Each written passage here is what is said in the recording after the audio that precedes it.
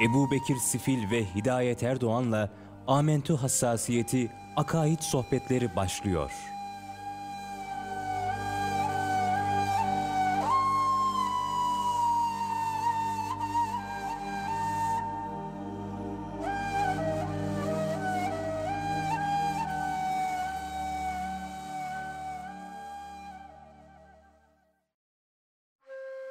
Hayırlı günler kıymetli dinleyenlerimiz. Ahmet Hassasiyeti programına hoş geldiniz.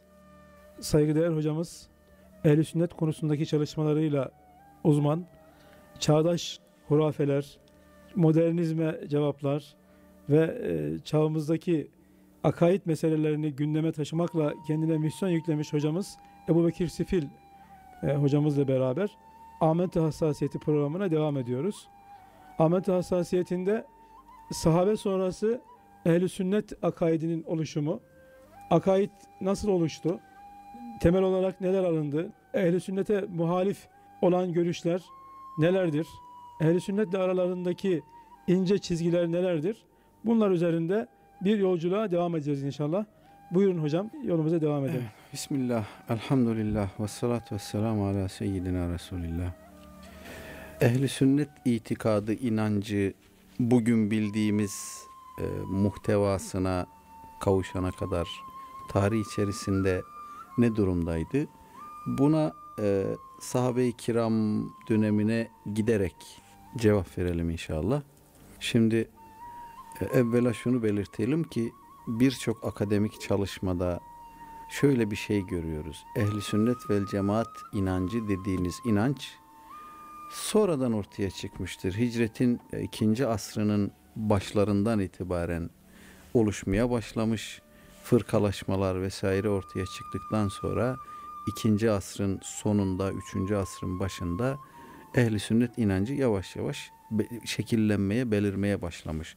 Yoksa sahabe döneminde, Efendimiz döneminde ehli sünnet inancı diyebileceğimiz bir yapı mevcut değildi gibi bir tespitin çok yaygın olarak dillendirildiğini görüyoruz. Hemen şunu söyleyelim ki ehli sünnet vel cemaat itikadını ehli sünnet kelamından ayırmak lazım. Hmm. Yani itikat tarih içinde oluşmuş bir şey değildir. İtikat da tıpkı ameller gibi, ibadetler gibi Aleyhisselatü Vesselam Efendimiz tarafından tebliğ edilmiş. Cebrail Aleyhisselam tarafından Efendimiz'e haber verilmiş. Efendimiz de ümmetine haber vermiş. Akaidi e, biz ehli kitap gibi kendi akaidimizi kendimiz oluşturmayız. Demek ki burada ehli sünnet kelamıyla akaid arasında ehli sünnet akaidini ayırmak lazım. Ehli sünnet kelamı ve ehli sünnet akaimi ayrı şeydir. Evet. Akaid olan bir şeydir. Yeni yeni çıkmamıştır. Ha, akaid vahiy vahiye dayanır yani. Ama kelam kelam da bu sistemi korumak üzere ehli sünnet uleması tarafından geliştirilmiş sistemi ihtiva eder. Kelam verilen cevaplardan oluşan evet. bir ilim dalıdır. Evet. Hocam öncelikli olarak hani şöyle bir tanım yapsak ehli sünnetle ilgili. Ehli sünnet ve cemaat sahabe ve tabiinin dini anladığı gibi anlamaktır veya sahabenin dini anladığı gibi anlamaktır desek. Aynen öyledir. Aleyhisselatü Vesselam Efendimiz sahabeye inanılması gereken hususlar olarak her neyi tebliğ ettiyse evet. sahabe-i kiram da kendisinden sonraki kuşağa her neyi aktardıysa bakın bunlara iman edin diye Tamam. İşte o ehli sünnet iman itikad. Hocam tabiini buraya ekle eklememeliyiz. Çünkü tabiin döneminde fırkalaşmalar ortaya çıktı. Evet, Bakın yani. mesela sahabenin genç kuşağının hayatta olduğu bir dönemde evet. Irak coğrafyasında, Bağdat'ta, Basra'da Ma'bet el-Cüheni diye bir adam ortaya çıktı. Evet. Bu adam kaderle ilgili ileri geri konuşan bir adamdı. Evet. O coğrafyada yaşayan, onunla aynı dönemde yaşayan, onun akranı olan insanlardan ikisi kalktılar bir hac veya umre seyahati için Medine-i Münevvere'ye, Mekke'ye uğradılar. Oradan Medine-i Münevvere'ye geçtiler. Ve orada Abdullah İbni Ömer Hazretlerini gördüler. Kendi aralarında konuşmuşlardı. Yani oraya bilinçli olarak gittiler. Bu meseleyi bir soralım Allah Resulü'nün ashabından kimi bulabiliriz diye. Böyle bir e, istişari maksatlı gittiler ve Abdullah İbni Ömer Hazretlerini gördüler. Mescid-i Nebi'ye girmek üzereydi. Biri sağına biri soluna yanaştı, selam verdiler, kendilerini tanıttılar.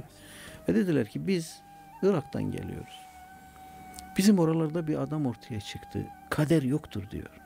Kader diye bir şey. Biz bunlara kaderiye diyoruz evet. mezhepler tarihinde. Kader diye bir şey yoktur. Kul kendi fiillerini kendisi yaratır diyor bu adam. Ne buyurursunuz? Abdullah İbni Ömer Hazretleri birdenbire ciddileşti ve buyurdu ki eğer o adamı gittiğinizde tekrar görürseniz ona söyleyin Abdullah bin Ömer bu dünyada da öbür dünyada da o adamdan beridir. Kader yoktur. Ne demek? Biz Aleyhisselatü Vesselam Efendimiz'den kaderle ilgili pek çok şey dinledik, pek çok hadis dinledik de- dedi ve orada onları ayaküstü hadisler nakletti. İşte dolayısıyla tabi'in kuşağını sahabe gibi topyekün alamıyoruz. Evet. Mabed el Cüheni dediğiniz insan tabiindendir. Evet. Kuşak olarak. Kuşak olarak. Evet. O zaman biz yani bunu e, ehli sünnet ve cemaat dediğimiz zaman Resulullah Efendimizin ve Resulullah Efendimizin din anlayışı ve Evet. ashab-ı kiramın din anlayışının Aynen öyle. kurumsallaşmış hali diyebiliriz. Sistemleştirilmiş sistemleştir- hali diyebiliriz. sistemleşmiş evet. hali Evet. diyebiliriz Evet, yani. evet, Evet, hocam. Ehli evet. sünnet ve cemaat anlay akaidi e, Evet. o, o anlama geliyor. Şimdi Evet. bir de bir de ehli sünnet vel cemaati diğerlerinden ayıran ve bir sistem haline getiren birkaç unsur daha var. Onlardan da Bu çok bahsetmemiz önemli lazım. Evet, Farık vasıf. Evet. Evet. Bir, bugün de tarih içinde de hiç kimse, hiçbir bid'at mezhep mensubu, az önce de söyledik, birinci programda da söyledik. Ben Peygamber aleyhissalatü vesselam Efendimizin ne dediğiyle ilgilenmiyorum. Onun sünneti beni ilgilendirmez demiyor. Böyle bir şey yok. Sadece ondan nakledilen şeyler hakkında şüphe izhar ediyorlar. İşte hadisler uydurulmuştur vesairedir, haberi vahittir falan gibi şüpheler izhar ediyorlar. Burada ehli sünnet vel cemaati diğerlerinden ayıran bir önemli husus öne çıkıyor. Evet hocam. Ehli sünnet diyor ki biz sahabe-i kiramın adil olduğuna inanırız. Evet. Ehli Bu- sünnetin demek ki alameti farikasının Evet. En temelinde En temeli bu. sahabenin adil olduğu tabii. inancı yat- yatıyor. Tabii. Evet. Sahabe, Yani sahabe bize din olarak ne nakletmişse biz onun din olduğuna iman ederiz, onu o şekilde kabul ederiz diyor ehli sünnet. Bunu başka bir fırka söylemiyor. Sadece ehli sünnet söylüyor. Dolayısıyla ehli sünnet inancı dediğimiz zaman Kur'an'da ve sünnette gördüğümüz şeyler var. Evet ama belki onları çerçeve içine alan, onları muhafaza içine alan bir kabul daha var ki o da sahabe-i kiram üzerindeki kabuldür. evet.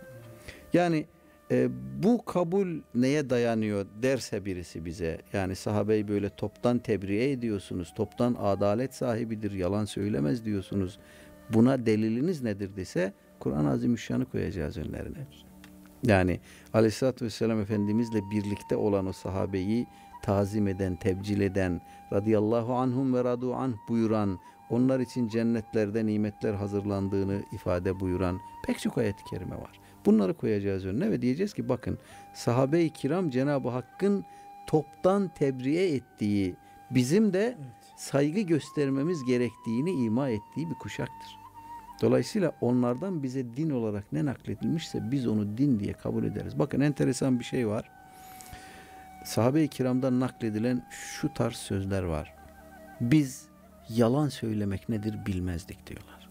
Evet. Çok ilginçtir bu. Yani daha sonraki kuşaklar içerisinde böyle toptan bütün bir nesli, bütün bir e, kuşağı yalan söylemediği konusunda tebriğe edebileceğimiz bir e, done yok elimizde. İşte az önce örneğini söyledik. Tabi'in döneminde bir takım Evet. yabancı oluşumlar ortaya çıkıyor. Ama Yani sahabe için bu mümkün değil. Sahabeyi kuşak olarak da ele alabiliriz yani. Tabii, Sanki tabii, tabii, tabii. yek vücut olmuş, Evet. tek bir e, şahsiyet oluşmuş. Yani sahabe deyince hepsi tek başına böyle homojen olmuş imanda. İtikadi konularda. itikadi noktada evet. Resulullah Efendimizle birlikte Evet. imanları her tarafa böyle sirayet etmiş ve bu cümleyi kurulabiliyoruz. Biz Aynen yalan nedir Bilmez. bilmezdik. Evet. Çok gerçekten önemli Dolayısıyla bize birisi şunu söyleyemez mesela. Ben sahabe-i kiramı inceledim. Onlar arasında itikadi konularda şöyle şöyle ihtilaflar gördüm. Bunu kimse söyleyemez. Söylese de ispat edemez. Evet. Çünkü itikadi konularda sahabe-i kiram adeta içi dışı birdir. Birine bakın hepsini görürsünüz. Evet. Ama fıkıh ihtilaflar böyle değildir. Veya daha sonraları onların arasında çıkan siyasi Siyasi. çatışmalar böyle değildir. Biz sahabeye sahabe adildir derken onlar masumdur, günahsızdır. Her hareketleri, her işleri bizim için vahiy gibi bağlayıcıdır demiyoruz. Onlar insandır. Onlar beşerdir. Çatışmışlar Hazreti Ayşe validemiz, Hazreti Ali Efendimiz çatışmış, Hazreti Ali ile Hazreti Muaviye çatışmış. Bunlar siyasi ihtilaflardır. Temelinde fıkhi kabuller vardır, başka unsurlar vardır ama itikada taalluku yoktur bunun. Amentü esaslarında Hepsi aynıdır. en küçük bir İhtilafları, ihtilaf farklılıkları yoktur. yoktur. En küçük bir muhalefet kenarlarına görülmemiştir. Görülmemiştir. Evet. Biri vardır dese ispat edemez yani. Bu kadar net konuşuyoruz. Bu sahabe-i kiramı diğer kuşaklardan ayıran en önemli husus budur. Demek ki ehli sünnet e, akidesinin özünü de bu oluşturuyor. Elbette. Tabii ki. Sahabe-i kiramın Tabii ki. adil olması, Evet. sahabenin itikadi konularda müttefik olması, hiçbir Evet. en küçük bir e, ihtilafa Evet. yer olmaması Evet. ehl sünnet ve cemaat anlayışının temelini teşkil eden bir Evet. e, temel e, Kabuldür. kabuldür. yani. Öyledir, evet. önemli gerçekten. Dolayısıyla bunları birleştirdiğimizde yani Kur'an-ı Azimüşşan ve sünnet-i seniyede itikada dair nasların üzerine bu tarihi vakayı da eklediğimizde ehli sünnet vel cemaat dediğimiz inanç sistemini elde ediyoruz. Evet. Bunun içinde bakın tarihsel unsurlar yoktur. Bunun içinde daha sonra ortaya çıkmış dine ilave edilmiş hususlar yoktur. Bunun içinde Aleyhisselatü Vesselam Efendimizin kabul etmeyeceği, itiraz edeceği hiçbir unsur yoktur. Evet. Bu ondan bize nakledilen şeylerin tamamının oluşturduğu homojen, net, berrak bir alandır. Tabi'in döneminden itibaren bulanmaya başladı bunlar. Sahabeyi gördük çok özet olarak. Tabi'in dönemine geldiğimizde az önce örneğini verdik. Bulanmaya başladı. İmam Ebu Hanife Hazretleri buyuruyor ki bize doğu tarafından iki tane bid'at görüş geldi. Birisi Cehm bin Safvan'ın tatil görüşüdür. Açıklayacağım inşallah. Biri de Mukatil bin Süleyman'ın teşbih görüşüdür. Tatil ve Tatil teşbih. ve teşbih. Birisi Cehem bin Safvan, birisi Mukatil bin Süleyman. Şimdi İmam Ebu Hanife ne kastetti acaba? Şunu kastetti. Biz homojen bir ümmettik. İnanç konusunda her birimiz hepimiz aynı şeye inanırdık. Aynı şeyi söylerdik. Ama bu iki bid'at görüş bize yani Irak coğrafyasına İmam Ebu Hanife Küfeli malum. Küfe, evet. Irak coğrafyasına bu iki görüş başka bir yerden geldi. Birisi tatildir Cenab-ı Hakk'ın sıfatlarını inkar ediyor. Birisi de teşbihtir Cenab-ı Hakk'ı mahlukata benzetiyor. Evet. Bunlar bizim tanıdığımız, bildiğimiz, hocalarımızdan duyup öğrendiğimiz şeyler değil. Bunlar yabancı görüşler ve bizim e, toplumun içine bunlar bu iki zat kanalıyla geldi. Evet, dolayısıyla tabi'in dönemine geldiğimizde bakıyoruz ki yavaş yavaş bir bulanma var. Yani ehli sünnet görüşü test edilmeye başlıyor yavaş yavaş. tabiri Evet, caizse. gerek içeriden bir takım oluşumlar, Evet. gerek dış kaynaklı bir takım cereyanlar dolayısıyla ehli sünnet vel cemaat inancının yavaş yavaş bulanmaya başladığını, daha doğrusu toplumun itikadının inanç bulanmıyor, düzeltelim bu cümleyi. Evet. Al- Toplumun itikadının algısının. algısının yavaş yavaş bulanmaya başladığını görüyoruz. İşte bu çerçevede sözün başında değindiğimiz unsur gündeme geliyor. Ehli sünnet inancı başka bir şeydir. Ehli sünnet kelamı Başka başka, bir bir şeydir. şeydir. Kelam inancı muhafaza etmek amacıyla geliştirilmiş bir sistemdir. Evet. Şimdi gelelim buna tabi'in döneminde nasıl oluştu? Tabi'in dönemine geçmeden önce bu Küfe ile ilgili biraz konuştursak hocam. Yani. Küfe'nin çünkü Küfe ile ilgili özellikle yani Irak ekolü dediğimiz zaman, Küfe dediğimiz zaman sanki böyle zayıf görüşlerin hakim olduğu bir algı var. Yani mesela Küfe e, Sa'd bin Ebu Vakkas komutasındaki bir orduya Hazreti Ömer zamanında kurdurulmuş bir şehir malumunuz. Evet. E, geçen e, Fe- Fütühül Büldan'da geçiyor. 18. e, Hicri 18. yılda. Evet. Ya 17 ya 18. yılda e, Hazreti Ömer radıyallahu an Sa'd bin Ebu Vakkas'a diyor ki ben burayı önemsiyorum hocam. Hani Küfe noktası diyor ki ey Sa'd diyor bir şehir kur aramızda deniz olmasın ki çabuk gidip gelelim birbirimize diye. Evet. Küfe'yi belirliyorlar ve Küfe'de bir şehir uzmanı gönderiliyor.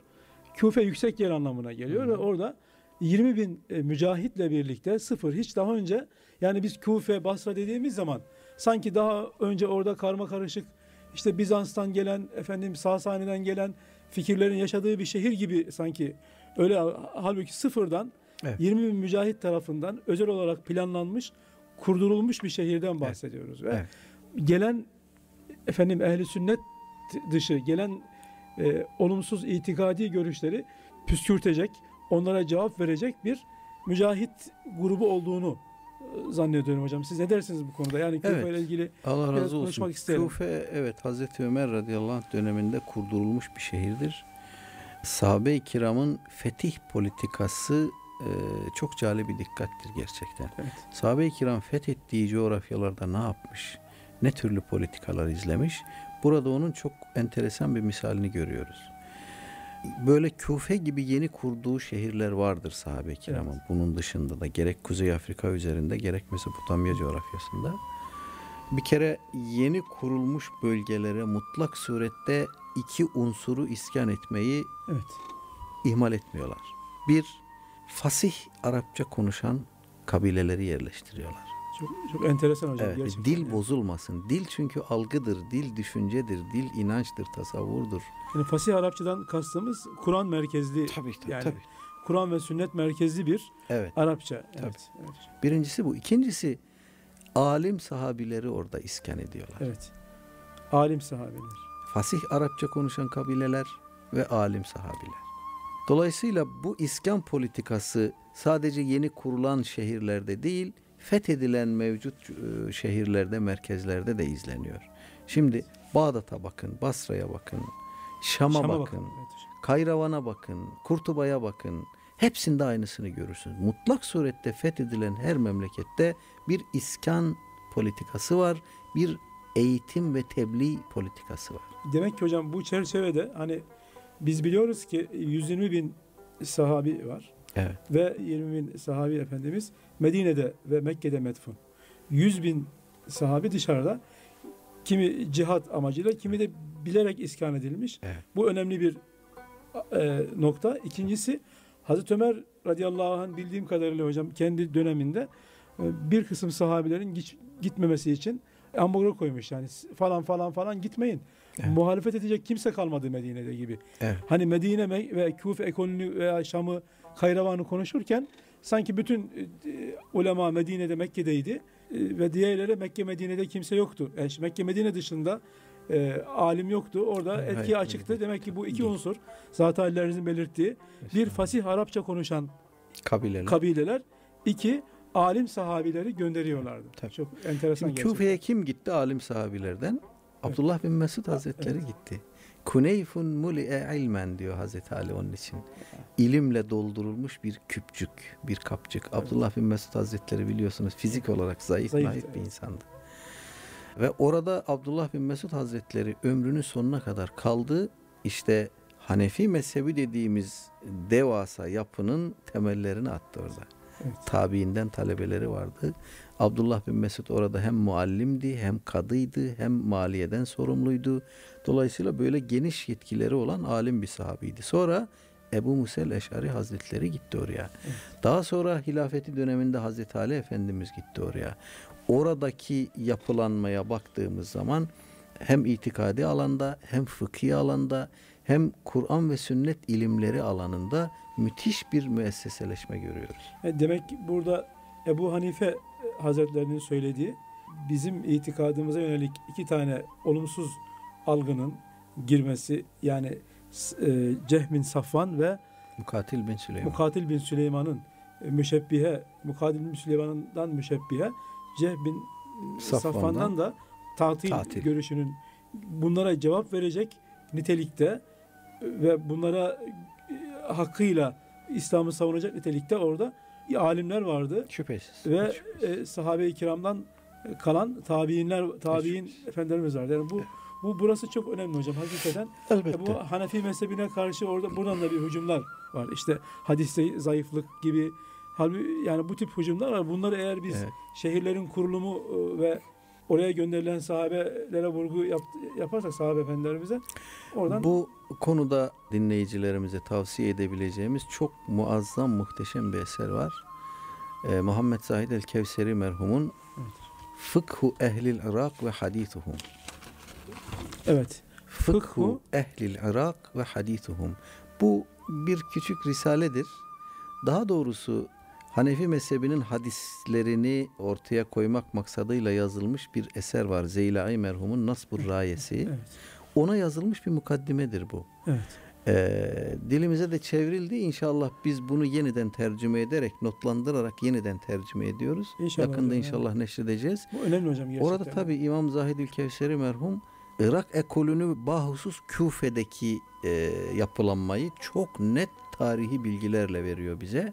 Oradaki hadis ilimleri, fıkıh ilimleri ve bu alanda yapılan çalışmalar, öne çıkan isimler vesaire muazzam bir çalışma yapmış. Yani ehl sünnetin oluşumunda yani Küfe'nin e, önemli bir etkisi var. Ehl-i Elbette, sünnet hiç akaidinin etkisi var E, ve kelamında. evet. Küfe boş değil yani o Hiç noktada. şüphesiz. Bu önemli. Hiç Yani şüphesiz. Küfe yani kurulma bir şehir.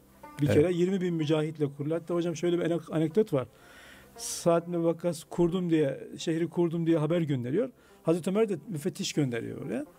Müfettiş kontrol ediyor e, ve geri dönüyor. Raporunda diyor ki vali konağının kapısının tokmağı e, mescidin kapısından daha böyle güzel görünüyor. Evet, diyor. Hazreti evet. Ömer orayı yaktırıyor. Böyle yani şey, şehrin kurulumuna Tabii, bile tabii, müdahale var. elbette, Kaldı ki elbette.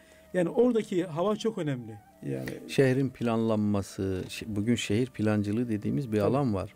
O alan ta işte o zamandan e, Hazreti Ömer e, ve diğer alim sahabilerin uyguladığı bir şey bu. yani cami merkezli bir Elbette. ve cami merkezli, fasih Arapça merkezli, Evet. alim sahabi merkezli bir Evet. şehir var. Bu şehir tabii olarak bir şekilde İslam'ın, İslam'ın merkezlerinden merkezi birisi Ehl-i tabii. sünnet akaidinin oluşmasında da bu bunu da gözden uzak tutmayalım arzu Evet, ediyoruz. evet. hocam. Şimdi İmam Ebu Hanife'nin talebelerinden birisi El Alim vel Müteallim'de geçiyor. Soruyor ona diyor ki bazı insanlar bize şöyle bir tenkit yöneltiyorlar. Sahabe-i kiram kelam ilmini bilmezdi. Sahabeye yeten bir şey niye size yetmedi? Bu bid'at bir şeydir. Sahabenin bilmediği, yapmadığı bir şey bid'attır. Evet. Siz bunu niye yaptınız diye bize tenkit yöneltiyorlar diyor. İmam Ebu Hanife'nin burada ona verdiği cevap ehli sünnet itikadıyla ehli sünnet kelamını birbirine rapt eden, birbirine bağlayan e, bir cevap. Çok güzel. Çok Niye bu ikisi birbirinden ayrılmaz? Onu dikkatimize sunan bir cevap. Buyuruyor ki büyük imam sahabe-i kiram diyor düşmanı olmadığı için silah taşıması, kılıç taşıması gerekmeyen bir insana benzer. Sahabenin düşmanı yoktu. Kendisine saldıracak, malına, canına kasteden kimse yoktu. Dolayısıyla silah taşıma ihtiyacı hissetmiyordu. Ama biz bugün kanımıza, canımıza, ırzımıza, malımıza tasallut edecek düşmanlarımız var bizim diyor. Evet yani kelamın müdafaa Tabii. amaçlı. Dolayısıyla kendimizi müdafaa etmek zorundayız diyor. Buradan kastettiği İmam Ebu Hanife'nin nedir? Ehli sünnet vel cemaat itikadı sahabe döneminde tehdit altında değildi. Onun için kelam diye bir sistem geliştirme ihtiyaçları yoktu. Evet. Akaid arı, duru, berrak, saf haliyle yaşıyordu ve hiçbir risk yoktu. Ama bugün yabancı oluşumlar var, bid'at fikir akımları var. Bu itikat tehdit altında. Dolayısıyla bu itikadın özünü, aslını muhafaza etmek için etrafına bir sur inşa etmek zorundayız. İşte o ehli sünnet kelamıdır. Kelamı bir sur olarak, bir Tabii. müdafaa Evet. e, merkezi olarak, yani bir Evet, müdafaa evet. unsuru olarak ele alıyor. İşte güzel enteresan olan budur. Akide ile kelam arasındaki ilişki budur. E, sahabe tamamen e, savunmaya ihtiyaç duymadan Evet. akaidi özümsemiş ama tabi'in döneminde ve daha sonraki dönemde e, bu akide savunulmaya ihtiyaç duyuluyor ve Tabii. kelam oluşuyor. Evet. Kelam savunma amaçlı oluşturulmuş bir e, Sistem. sistem. Peki Evet bu tehditler neler? Bu tehlikeler neler? Ehli sünnet kelamına yönelen bu tehditler neler? Bir kere birincisini söyledik. Kaderiye diye bir akım var. Evet hocam. Kader yoktur diyor. İnsan kendi fiillerinin yaratıcısıdır diyor. Böyle bir dalalet bir görüş var. İkinci bölümde inşallah hocam bu e, sünnet akidesine yönelen tehditlerle e, Evet. ve tabi'in dönemindeki tehditler, tabi'in Evet, ve tebe tabi'in dönemindeki tehditlerle inşallah, İnşallah. devam edelim. Rabbim inşallah e, hayırlar hasıl eylesin. Amin. E, Amin. programdan Allah devamını nasip eylesin Amin. inşallah. Kıymetli Erkam Radyo dinleyenleri, kısa bir aradan sonra Ebu Bekir Sifil hocamla beraber Amentü Hassasiyeti programına devam ediyoruz. Ee, son olarak ehli sünnet akaidine yönelen tehditlerle devam ediyorduk. Orada kalmıştık. Hocam e, ehli sünnet akaidine yönelen tehditler ilk dönem itibariyle nelerdir acaba? Evet. ehli sünnet akaidi az önce de söyledik. Sahabe-i kiram döneminde herhangi bir tehdit altında değildi. Aleyhisselatü Vesselam Efendimiz hayattaydı. İlminde, amelinde merkezi Aleyhisselatü Vesselam Efendimiz'di. Sahabe-i kiram itikadi, ameli ya da herhangi başka bir konuda bir problem ortaya çıktığında bir şey öğrenmek istediğinde doğrudan bunu gidip adresinden Aleyhisselatü Vesselam Efendimiz'den soruyordu.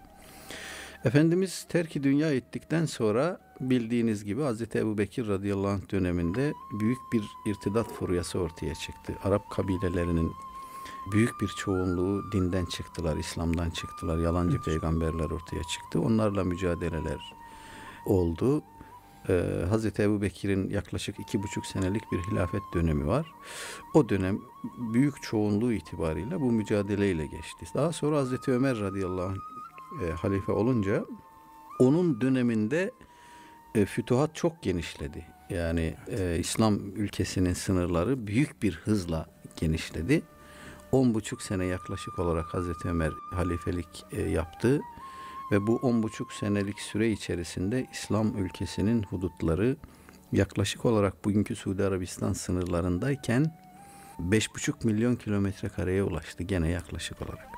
5,5 milyon kilometre kare. Evet. 10,5 süre, süre sene süresince 10,5 sene zarfında 5,5 milyon kilometre kareye kadar. Enteresan bir rakam evet. gerçekten hocam. Evet. Yani Hazreti Ömer döneminde bir kere İran fethedildi bütünüyle, Irak fethedildi bütünüyle. E, bugünkü Suriye toprakları fethedildi bütünüyle. Mısır'ın bir kısmı fethedildi. Kuzeye yöneldiler. Azerbaycan sınırına gittiler. Azerbaycan fethedildi, Ermenistan fethedildi. Doğuya yöneldiler Çin sınırına doğru. Müthiş bir büyüme var yani. Dolayısıyla Türkiye Diyarbakır'da o dönemlerde diye bir rivayet var. Evet, evet buraya ilk... gelmiş sahabiler var evet, tabi. Evet.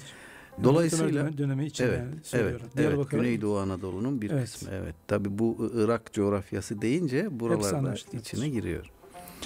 Bu dönemde Hazreti Ömer'in dirayetli idaresi, otoriter idaresi dolayısıyla çok büyük bir problem yaşanmadı. Bir iki münferit olay biliyoruz. Adamın birisi bu müteşabih ayetler hakkında soru sorarmış toplumda insanların kafasını karıştıracak şekilde. Hazreti Ömer'e bunun haberi gidiyor ve adamı çağırıyor. Diyor ki sen kimsin? Evet. Adam diyor ki ben Allah'ın kulu Sabih. Sabir bin Isıl diye bir adam bu. Sabir bin Isıl. Sabir bin Isıl. Acaba hocam yaşadığı yer neresi acaba? Nerede? Medine'de oluyor. Medine'de yani. Evet, adam tabii, Medine'de. Tabii, Medine'de evet. Yani Hazreti Ömer'in dizi dibinde. Evet. Gözünün evet. önünde tabiri caizse. Sabir bin Isıl. Isıl evet. Çağırıyor adamı. Sen kimsin diyor. Diyor ki ben Abdullah Sabir bin Isıl. Allah'ın kulu Sabir bin Isıl. Öyle mi diyor. Hmm. Ben de Abdullah Ömer. Yani Allah'ın kulu Ömer diyor ve adamın başına elindeki sopayla vuruyor. Adamın kafası kırılıyor. Götürün bunu diyor. Kafası. Yaralanıyor yani. Yaralanıyor evet. Yani götürün bunu diyor. Yarası iyileşsin getirin. Götürüyorlar adamın yarası iyileşiyor getiriyor. Bir daha vuruyor. Diyor ki ey müminlerin emiri beni öldürecek misin? Niye vuruyorsun? Diyor ki sen insanların arasında gezip bu müteşabih ayetleri soruyorsun. Er-Rahmanu alel arş istiva ne demek? Allah Rahman Allah. arşa istiva etti ne demek? Yedullah Allah'ın eli, veçhullah Allah'ın yüzü. Bunları soruyorsun, insanların kafasını karıştırıyorsun. Bunu Şam'a sürün diyor Hazreti Ömer. Bu adamı Şam'a sürün. Şam'da da tecrit edin kimse bununla oturup kalkmasın. Ta ki tevbesinde samimi olduğu ortaya çıkana kadar. Allah Allah. Böyle münferit olaylar var ama toplumu tehdit eder vaziyette kitleselleşme eğilimi gösteren bir şey yok. Ee, yani Resulullah Efendimiz olarak. döneminde hocam Medine'de hani geçen sohbetimizde dile getirmiştik. Resulullah Efendimizin yanakları e, gül gibi böyle nar, nar sıkılmış, nar sıkılmış gibi. gibi. Evet. Biz hep Resulullah Efendimiz'i gülle evet, özleştirdiğimiz evet. için e, gül yanakları nar sıkılmış gibi kızarmıştı. Evet. Kaderle ilgili konuda. Kaderle ilgili konuda da demiştik ki Resulullah Efendimiz e, yanakları nar gibi nar suyu sıkılmış gibi kızararak kırmızı çizgilerimizi ortaya koyuyor.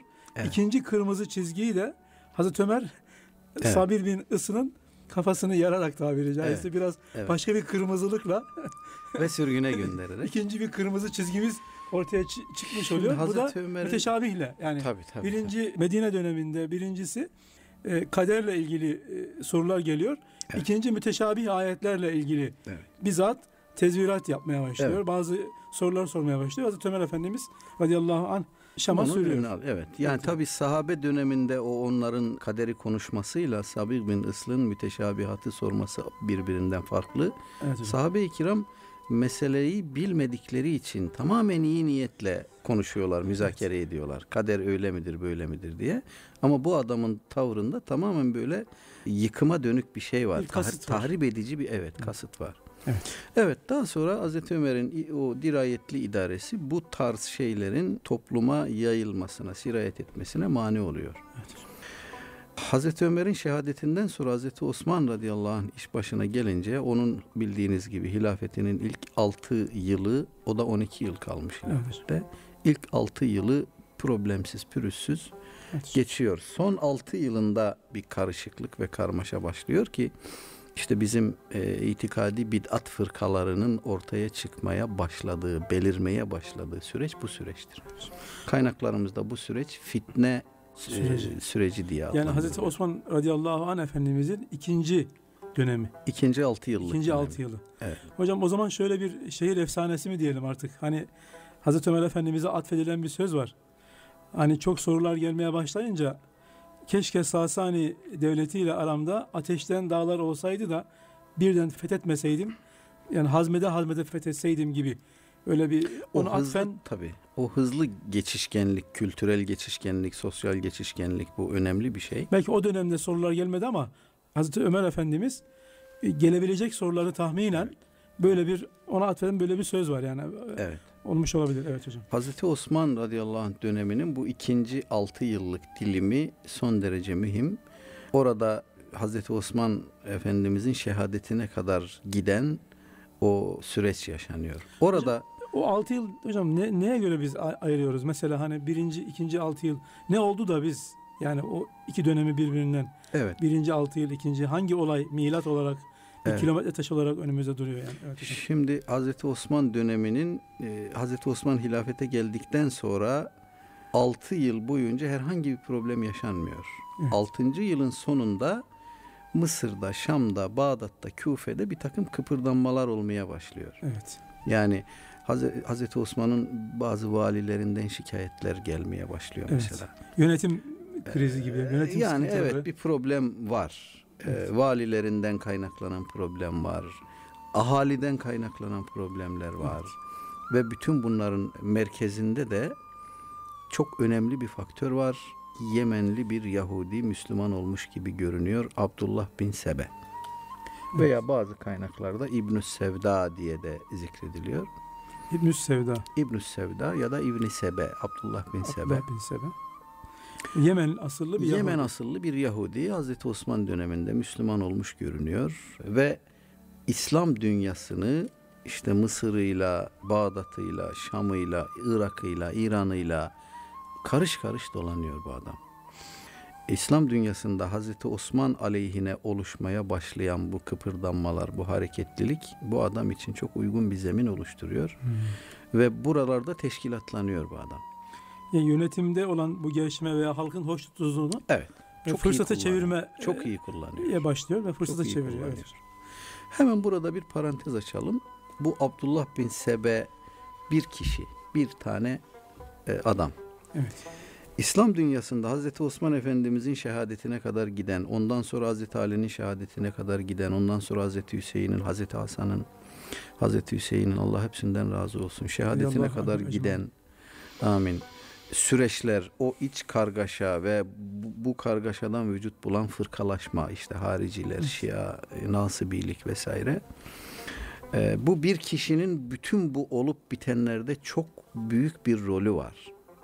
Bazen bir takım müsteşrikler vasıtasıyla bu zat etrafında bir soru işareti oluşturulmaya çalışıldığını görürüz.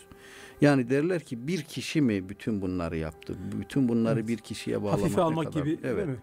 Yani sanki İslam dünyasında yaşanan bu karmaşa işte sizin haşa sahabi dediğiniz insanların hırsları, iktidar tutkuları vesaire e, bunun hiç rolü yokmuş da bütün bunları bir kişi yapmış gibi adamın boynuna yıkıyorsunuz bu işi.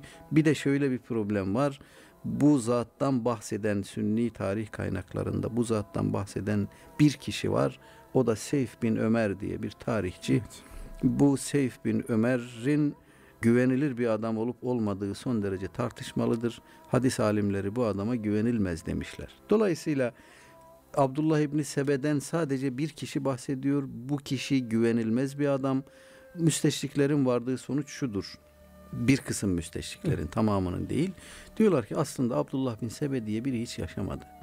Bu Seyf bin Ömer isimli tarihçinin uydurmasıdır bu. Evet, hayal mahsulü bir Hayal şahıs. mahsulüdür. Seyf bin Ömer'in kendisi de güvenilmez birisidir. Dolayısıyla böyle bir adam hiç yaşamadı. Yani orada bütün suçu e, o dönemki o dönem yaşayan Müslümanlara yüklemek için. e, bunu- Evet, Seyf bin Ömer bunu niye uydurmuş olabilir diye bir soru soruyorlar. Cevabı da kendileri veriyor. Diyorlar çünkü burada sahnede sahabiler var. Birbiriyle savaşan Hazreti Ali, Hazreti Ayşe Cemel vakası, Hazreti Ali, Hazreti Muaviye Sıffin vakası, Harre vakası vesaire. Dolayısıyla merkezinde sahabilerin bulunduğu bu olaylar. Seyf bin Ömer sahabeyi bu işten tebriğe etmek istedi. Ee, uzak tutmak istedi. Bir muhayyel bir adama yıktı bütün bu vebali. Dolayısıyla sahabeyi temizlemiş oldu. Bütün vebal bu adamın boynuna kaldı. Böyle bir maksatla uydurmuştur diyorlar. Ama hakikaten can alıcı bir soru hocam yani. Evet.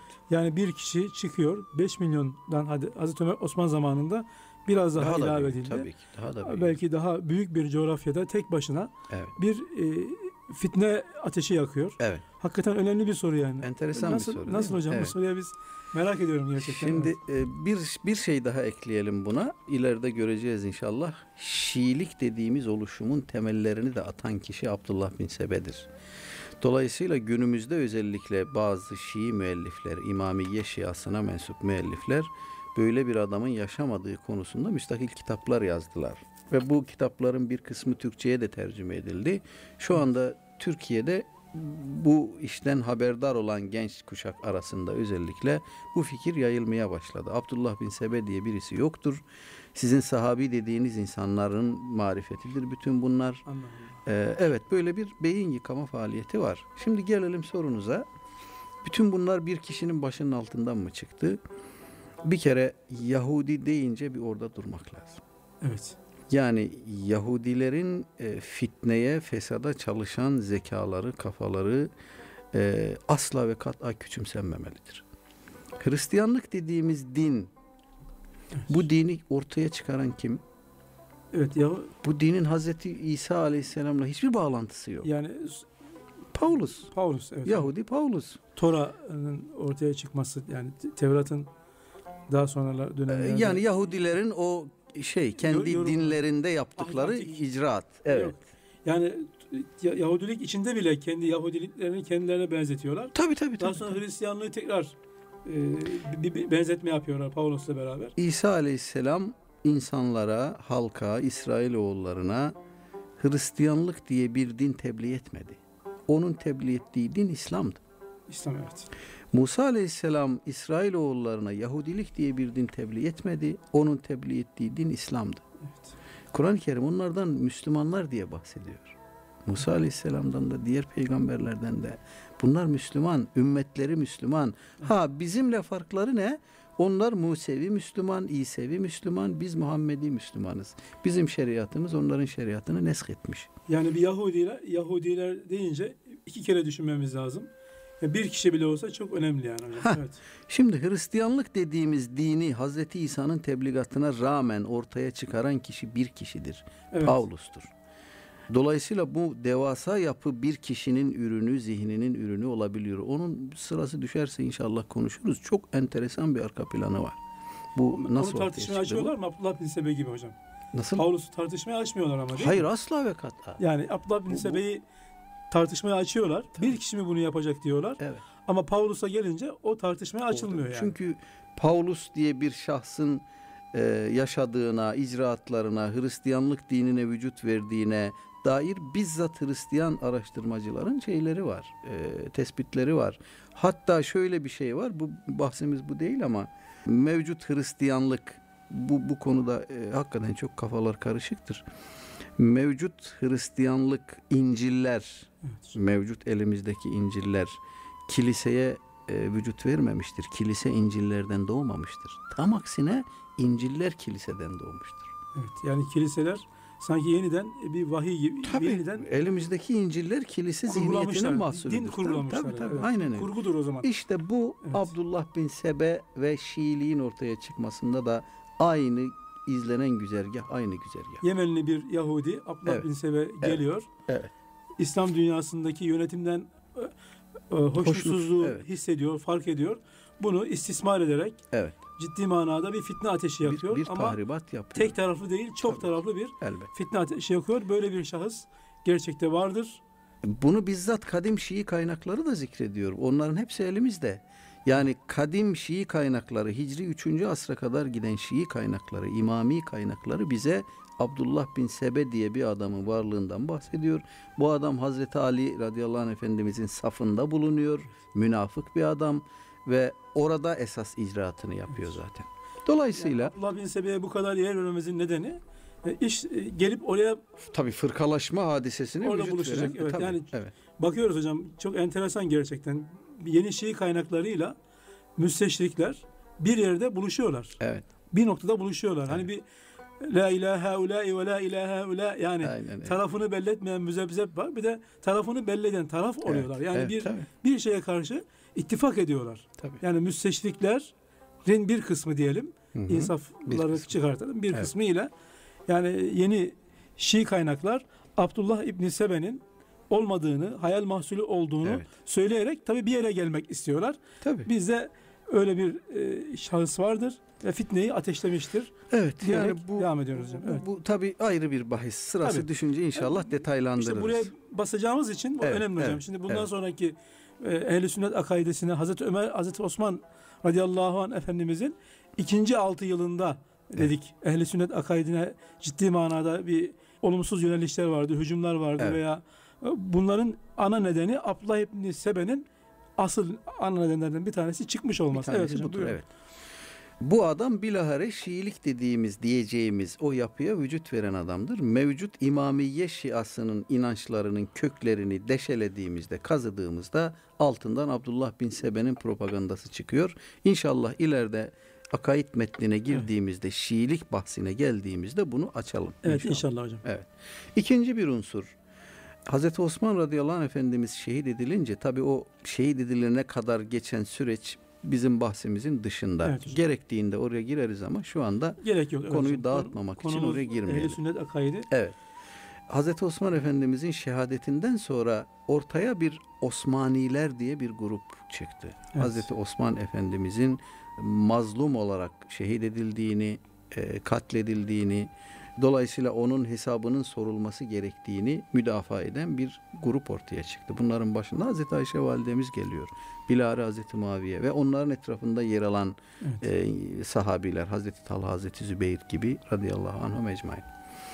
E işte bir Osman Şiası ortaya çıkıyor. Yani ilk çıkan Şia Osman, Şiası. Şiasıdır tabii. Yani Osman taraftarları. Evet, Osman taraftarı anlam. Şia taraftar, taraftar demek. demek. Evet. Bunların karşısında bir Ali Şiası oluşuyor. İşte başına Abdullah bin Sebe'nin çektiği bir Ali Şiası oluşuyor. Ali Şiası ile Osman Şiası arasındaki mücadelede bilahare Hazreti Ali'nin şehadetiyle neticelenecek olan o haricilik var. Onu da bahse konu edelim inşallah. Bu mücadelede Osman Şiası çok fazla bir varlık gösteremiyor. Ali Şiası karşısında. Yani bir tavrın, bir tutumun devamı anlamında bugün Osman Şiası diye bir kitleden bahsetmiyoruz, bahsedemiyoruz. Ama Ali Şiası diye bir kitle var ve bu kitle zıvanadan çıkmış bir kitle. İnşallah Yani tam da akaidin akaidle ilgili e, ele alacağımız nokta Evet. Ali Şiası yani ilk demek ki hocam akaidde ilk gelen hücumlar Hazreti Osman radıyallahu anh'la beraber Şia yani e, Şiilik veya Hazreti Ali Şi, Şiası Evet Hazreti Ali Şiası Osman Şiası'nın itikadi bir şeyi yok. Bir id- bir e, iddiası yok, bir farklılığı yok. Tamamen siyasi bir oluşum bu. mazlumiyetine inanan Evet, e, evet. inananlar, Evet. şehit olduğuna inananlar Evet. duygusal olarak bir şekilde e, haklı olduğunu savunuyorlar ve Evet. Osman Şiası diye bir şey çıkıyor ama kalıcı olmuyor. Tabii bir şey değil yani bir itikadi fırka değil Evet bu. Bir siyasi tavırdır.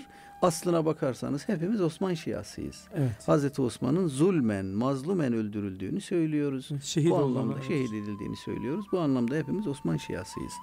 Ha öbür tarafta Hazreti Ali ile Hazreti Muaviye arasında bir mücadele var.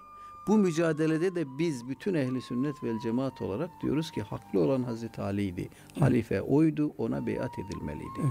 Bu tarihi hadiselerin tahlili tarihçilere ve başka bağlamlara bırakılsın.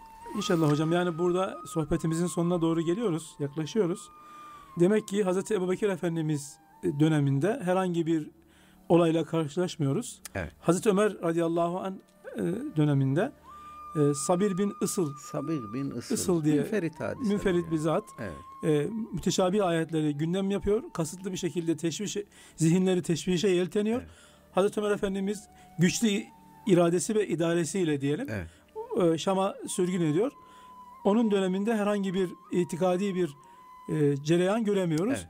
Hazreti Osman radıyallahu anh efendimizin de ikinci döneminde yani 12 yıl mı hocam? 12 yıl. 12 yıllık dönemde ikinci 6 yılından itibaren Evet. Abdullah bin Sebe ile yeni fitne ateşi körüklenmeye başlıyor. Evet. İnşallah önümüzdeki sohbetlerimizde hocam haricilik, şia ve benzeri ilk Hazreti Ali Efendimiz dönemindeki ehli sünnet akaid dışındaki akaide yönelik özellikle Hı hı. yani akaidi alakadar eden akaidle ilgili e, bölümlere geçmek istiyoruz. İnşallah. Bugünlük sohbetimizi burada kesiyoruz, ara veriyoruz hocam. Allah razı olsun. Teşekkür amin, ederiz. Amin. Allah, Allah nice razı güzel ehli sünnet akaidinde hizmetler nasip eylesin cümlemize Amin, inşallah. amin, amin. Kıymetli dinleyicilerimiz, Ebu Bekir Sifil hocamızla olan sohbetimize e, bugünlük burada bitiriyoruz. İnşallah bir dahaki sohbetimizde buluşmak üzere. Allah'a emanet olunuz.